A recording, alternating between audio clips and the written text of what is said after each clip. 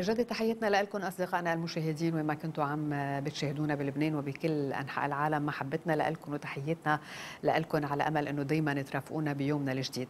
محطتنا هلأ رح تكون مع نهى روكوز منسقه إدارة المنح لقسم الهجرة وبيوت الإيواء برابطة كاريتاس لبنان.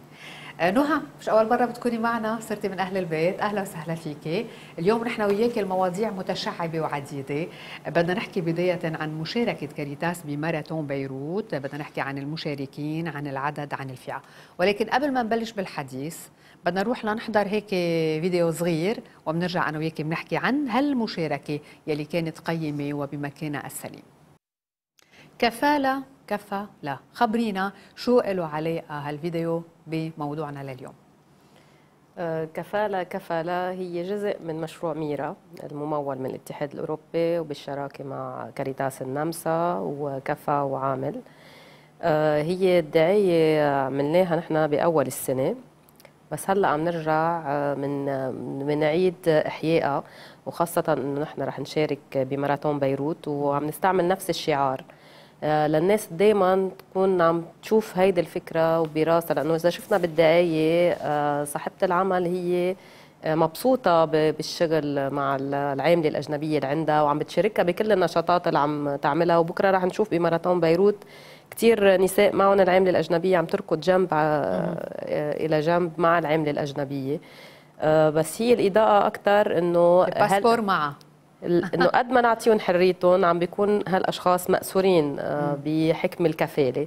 وبما إنه هالمشروع هو آه، آه، جزء منه تغيير إحدى القوانين الخاصة بحماية هالأشخاص وهي إلغاء الكفالة وتصير هالعاملة مثل مثل أي عامل بلبنان وعندها الحقوق ذاتها ويكون عندها أوراق الثبوتية لأنه هي شخص راشد نفسه وفيها تكون أوراقها معها وتكون مسؤولة عن نفسها. فرح نشارك بالماراثون. ورح يكون معنا أكثر من 200 شخص من جنسيات مختلفة من كافة الأعمار آه، لبنانية ومن عمال أجانب رجال ونساء. آه، ورح يكونوا حاملين هذا الشعار على الكاسكتات تبعهم على البنان تبعهم. كرمال الناس تقشعهم ويكونوا أكثر عم يحكوا عن القضية. فهن شعار جوال مع أكثر من يمكن 10000 مشارك أو أكثر رح يكونوا المشاركين على الأرض. نعم. فوجودهم رح يكون عم يحكي يحيي هالفكره ويضلوا يذكر الناس إنه هالأشخاص موجودين ولهم حقوق ولازم نشتغل على إلغاء الكفالة. يعني لكم أطيب التحيات ككاريتاس لبنان لأنه آخذين هذا الموضوع بعين الاعتبار لأنه فعلا في عاملات أجنبيات ما بيحسوا بوجودهم هن ككيان كإنسان. كمان لازم لفت النظر كثير إنه إنه العاملة الأجنبية مثلنا مثلها هي جاية عم بتمارس وظيفة مثل ما نحن بنمارس وظيفتنا وين ما كان. قديش تعبت كاريتاس تكرست هيدي الفكرة؟ عم تنطلق بجولات وأنشطة لتكريس هيدي الفكرة ونشرها بطريقة أوسع. نحن من ال 94 عم نشتغل على هالموضوع بس هي وقتها نشتغل على تغيير آه، آه، تفكير الأشخاص مم. يقتنعوا إنه هالأشخاص موجودين عندهم هن كعاملين عندهم حقوق متساوية. آه، اخذت عم تاخذ كثير وقت بس العالم صاروا أكثر هن عم بيشوفوا إنه هيدي مزبوط. إنه نحن وخاصة بالأزمة الاقتصادية ونص العمال تركوا البيوت ورجعوا على بلادهم حسوا بالحاجة لهم وحسوا إنه كمان فيها الانسان تكون عايشة برات البيت. لأنه وقت صاروا هن تحت سقف واحد وكانوا محجورين بوقت كورونا وكل هاي المواضيع.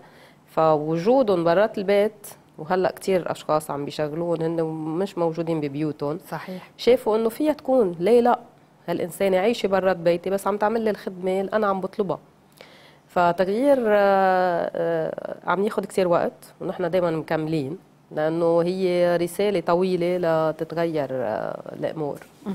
بدنا نحكي أكثر عن مشروع ميرا وأبرز التوصيات يلي صدرت عن جلسات الحوار. شو كانت هيدي التوصيات؟ وإلى أي حد ممكن تتنفذ؟ لأنه ممكن بأي جلسة حوار يكون في توصيات ممكن تتنفذ ممكن لا. وفي توصيات أكيد إذا الواحد اشتغل عليها وتبعها بيوصل فيها.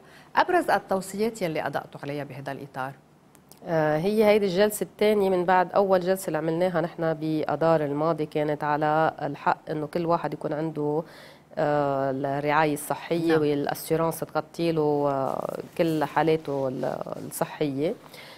هيدي الطاولة المستديرة كانت عم تتناول حق في الأجر إنه كل إنسان عنده حق الأجر. والوضع الاقتصادي هلأ ما عم بيخلي آه، حتى اللبناني يقدر يدفع بالدولار لهالأشخاص. فكانت كثير مهمة هيدي الطاولة المستديرة لتتناول آراء الجميع. يعني كان عندنا أصحاب العمل عندنا مكاتب الاستقدام عندنا وزارة العمل الأمن العام العمال نفسهم. فكان مثل حوار بناء للجميع ليطلعوا نعم.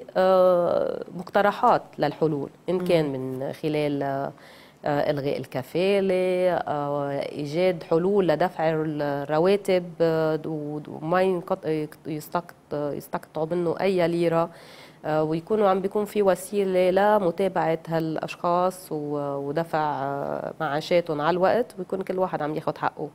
ومثل ما حضرتك قلتي إنه نحن بنوصل كل قسم بقسمه بنتوجه له بالتوصيات. يعني إذا كان في توصيات لوزارة العمل نحن بنروح بنعمل ضغط على جزء العمل. الخاص آه. فيها نعم. يعني كل جزئية عندها بنفرعها كرمال نقدر نوصل شوي شوي للحلول يعني اسم الله على كاريتاس مش تاركة محل إلا ما موجودة فيه. هي الأخ والبي والصديق والخي الكبير والخي الصغير والداعم. حتى إنه نهار الثلاثاء في congrès بفتكر لتنبهوا على الأخذ المرضي للدواء. بس خليني قبل ما احكيك بهذا الموضوع لو سمحتي رابطة كاريتاس لبنان بالتعاون مع جمعية التضامن البلجيكية ومؤسسة المعوقين في لبنان بتوجه دعوة إلى مؤتمر تحت عنوان أهمية عدم المبالغة بوصف الأدوية الزمان الثلاثاء 25 تشرين الأول 2022 الساعة 9 صباحا من التسعة للوحدة الظهر. المكان نقابة الصيادلة في لبنان العدلية والرجاء تأكيد الحضور. آه بده يكون قبل الأحد 23 تشرين الأول ونحن أكيد عم نشوف الدعوة. بدي أتوقف عند هذا الأمر يلي هو على قدر من الأهمية لأنه نحن خاصة بالآونة الأخيرة صار تعاطينا للدواء تعاطي مرضي. مرضي بكل ما أوتي للكلمة من معاني. حتى أوقات بنحس تعب نفسي دواء. تعب جسدي يمكن هو مش موجود نحن بنحسه موجود دواء. فصار هو الدواء الملجأ والملاذ الأخير. قد إيه حاطين تقلكم بهيدا الشيء لتوصلوا هالرسالة؟ إنه أكيد حبة دواء بتشفي بس الكثير من الدواء والأخذ المبالغ فيه بيضرب وبيخلينا مرضى. يعني هي هيدا اللقاء كثير مهم لأنه إجت إجت الكورونا. نعم. ولحق الوضع الاقتصادي آه، فالناس تعبهم. يمكن الصحة النفسية تبعهم قد ما صاروا هن تعبانين صارت الوسيلة الوحيدة هي بالنسبة لهم الدواء. الملاذ الآمن. إيه فما في حل كان غير هال هالأمور بس كمان في مسؤولية الأطباء علشان هيك نحن مشاركين أطباء من عدة اختصاصات ليحكوا على أهمية أخذ الدواء مثل ما هو للعلاج الصح. مش نخلط الأدوية آه، كمثل ما شايفين نحن هون شفنا قلب ومحطوط فيها حدة آه، حبوب بس هذا إذا اتاخذ بكثرة راح قلبه للشخص وممكن يوصل لحالة الموت والوفاة من وراء استعمال الخاطئ للدواء. فهيدا كتير مهم إنه الناس ما تاخذ الأدوية بدون ما تكون في استشارة طبية صح؟ وكاريتاس كل مستوصفاتها موجودة لأعطاء النصائح الصحيحة للأشخاص وياخذوا الدواء الصحيح. كم مستوصف آه، موزعين على مختلف الأراضي اللبنانية؟ نحن عندنا تسعة, تسعة. مراكز مستوصفات ثابتة وعندنا نقالة مراكز النقالة اللي بيروحوا على كل المناطق اللبنانية عبر مواعيد بيكونوا صار بالضيعة صاروا يعرفوا إنه هالجمعة قاطعة ضيعتي بكرة على ضيعة غيري ومسجلين الأشخاص اللي بياخذوا الأدوية. يعني من هون بدنا نطلق نداء إنه please اسألوا please ما تاخذوا أدوية هيك لمجرد الأخذ لأن هيدا بفوتكم بأمور لا تحمد عقباها خاصة بهالمرحلة اللي نحن عم نعيشها مش ناقصنا ابدا. كمان اللافت بكاريتاس إنه كان عندها تكريم من فخامة رئيس الجمهورية العماد الجنرال ميشيل عون يلي كرم كاريتاس لبنان خبرينا عن هيدا ال event. ب 14 تشرين آه، دعينا للقصر الجمهوري بمجموعة من المؤسسات طلعوا أخذوا آه، التكريم. هو بمناسبة الخمسين سنة لمرور آه، عمل كاريتاس على كل الأزمات اللي قطعت بلبنان. صحيح. وهذا كان كتير شيء رائع بالنسبة للمؤسسة ورجعوا تقدم. أكيد شكر لكل الموظفين لأنه نحن إذا تقدم لنا تكريم وعم يتقدم لكل عنصر عم يقدر يشتغل على الأرض وعم بي بيتعب. يعني عندنا أشخاص صار لهم 50 سنة عم يشتغلوا. يمكن الحلقة السابقة قطع صحيح. عن كاريتاس. شفنا شخص صار له آه، تاريخ بالمؤسسة. فهذا كان كتير مؤثر آه، لنا ونحن أكيد فخورين فيه لهذا التكريم. آه كتار من الناس آه، ودايما بيطرحوا هذا السؤال إنه 50 سنة ومكملين. أو قديش فيها كاريتاس بعد تكمل وقد إيه بده يضل فيها شباب ليقدروا يتابعوا ويستمروا رغم إنه عدد كتير كبير من الشباب هاجروا وتركوا. بس لكل شخص في قصة ولكل شخص في حل مع كاريتاس. خبرينا عنصر الشباب عندكم قد إيه فعال بهيدي المؤسسة بهيدي الرابطة يلي صارت أكبر من الدولة بأعمالها وبشغلها وبتواصلها مع الآخر وبإنسانيتها؟ يعني نحن الشبيبة هن من الأساس لأنه نحن بنكبر فيهم.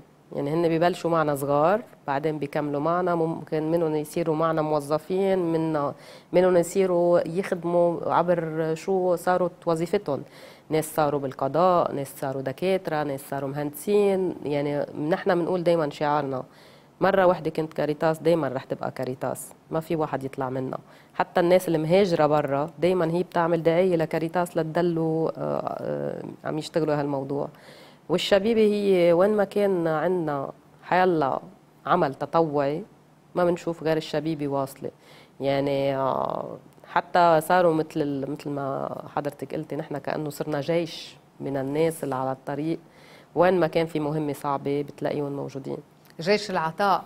صح. وبتعرفي كثير تغيرت النظرة إلى كاريتاس. مش عم بقول لأنه هلأ نحن طالعين على الإعمال الإعلام وأعمل دعاية بس عن جد نظرة كاريتاس كثير تغيرت خلال هالسنوات الأخيرة لأنه لمسوا مع اللي صار فينا من كوفيد ومن انفجار المرفأ وما لمسوا الناس قديش كاريتاس كانت واقفة إلى جانب كل محتاج ولمسوا قديش اشتغلت بإنسانية ولمسوا كيف هالشباب كانوا تاركين يمكن أشغالهم وأعمالهم واقفين بنص الطريق.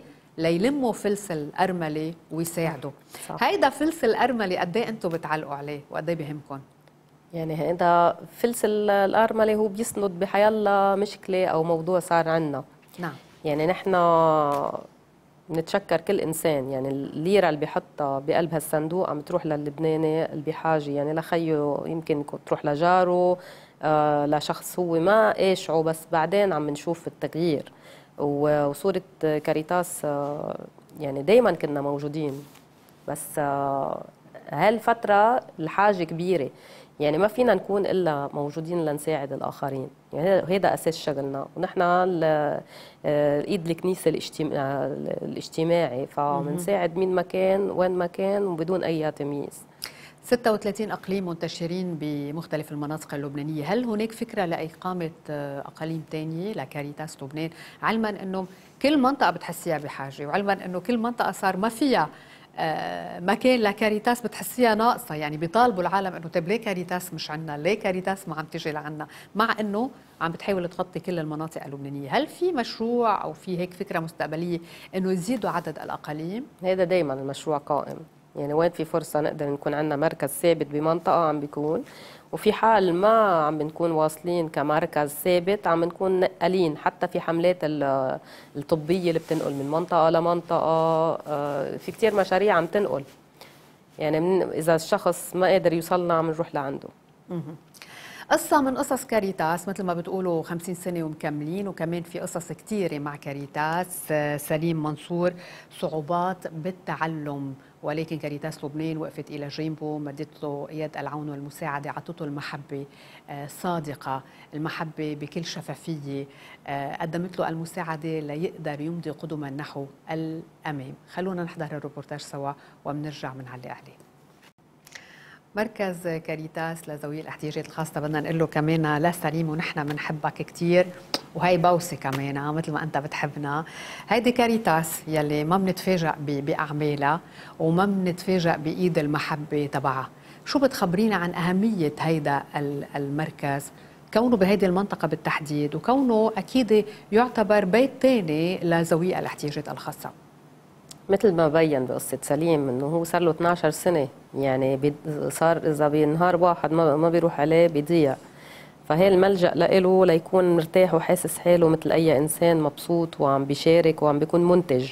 صح. آه، وغيرت له حياته غيرت حياة العيلة تبعه كمان. لأنه لو ما العيلة تبعه وصلت أخذت هيدا المساعدة وال متابعة سليم بال- بالمدرسة كانت رح تكون عم تتأثر. فهيدا ماشيين آه، إيد بإيد مع العائله كرمال كل شخص يكون مرتاح وعم ياخذ حقه.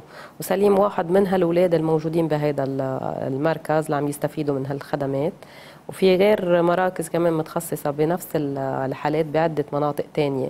ف آه، هو كمان هالمركز جماله إنه عم بيخلي هالولاد يعملوا إنتاج حلو. يعني بنشوف الشغل تبعهم الناس بتفتكر إنه هن ما بيقدروا يعملوا شيء بيرسموا الرسمات اللي بتطلع رائعة الشغل السيراميك تحضير الشوكولا الكيك كل هن مثلهم مثل أي إنسان بس امنا بقدراتهم.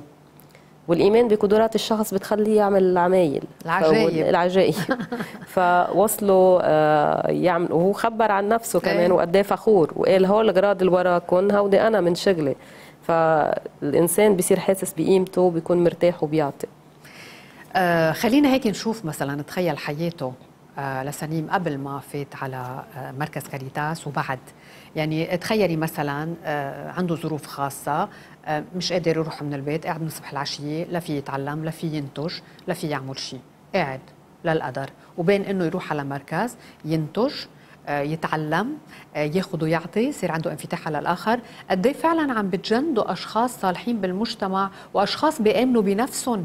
لأنه بس الواحد يصير منتج بيصير يآمن بنفسه بيصير يعطي أكثر وأكثر إيه صح لأنه لو سليم بقي بالبيت كان رح يكون آه، أهله مربوطين فيه وما قادرين هن كمان ينتجوا. يعملوا شيء. ليقدروا يعيشوا العائله تبعهم. فسمعنا بكلمات البي إنه كثير وجود المؤسسة وتبين قد إيه الحاجة كانت وأهمية المركز وقت الكورونا. وقت المركز كان مش فاتح 100% كان رجعت الحالة بالعائلة لورا. آه، وقت فتح المركز صار سليم يركض أول واحد يلبس ثيابه وعارف وين رايح. يعني هي الأمل تبعه ليكمل ويكون عايش مرتاح وحاسس حاله عم يعمل شيء مختلف عن القعدة بالبيت. آه لأي متى فيها تبقى كاريتاس عم بتحارب على كذا جبهة؟ دايما رح تكون ما هي حملتنا هالسنه ال 50 سنة ومكملين. ومكملين. فأكيد دائما رح يكون في ناس مؤمنة بنفس القضية بنفس المساعدة بنفس العطاء. يعني رسالة ما بتخلص. هل شي مرة بينطرح آه، موضوع آه، الاستمرارية عندكم أو موضوع الصعوبات سيما المادية منها؟ لأن نحن بنعرف أنه كاريتاس مش عندها متمول وجاي كابب لها المصريات واشتغلي أكيد في آه، المقيمين لبنان المقيم ولبنان المغترب. بالتظافر والتكافل نوصل لهون. صح. كيف أنتم بتحاولوا هيك توجهوا أو تبينوا الصورة الحقيقية لكاريتاس لبنان لتضل قادرة تعيش وتكفي وتساعد؟ نحن في كتير أيام بيجي الناس اللي بدها تعطي بنقول لها تعي معنا زوري هالعالم تعي شوفي المركز تعي شوفي الإنتاج.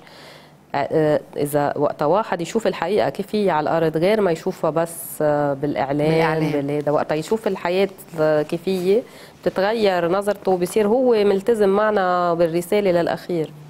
يعني نهى ما فينا إلا ما نتمنى لكم كل الخير. إن شاء الله ال 50 سنة تبع كاريتاس بيصيروا 1050 أو لا نهاية إن شاء الله من الأمل من المحبة الصادقة ومن المساعدة المستمرة. نهى روكوز منسقة إدارة المنح لقسم الهجرة وبيوت الإيواء. شكرا كثير لوجودك معنا. أهلا وسهلا فيك. إلى المزيد من اللقاءات. وبلغي تحياتنا لكاريتاس لبنان فردا فردا. وصل مباشر. مباشرة. أصدقائنا المشاهدين نحن متابعين معكم رحلتنا الصباحية ما تروحوا لبعيد بعد شوي زميلتي مي بتنضم لرفقتكم.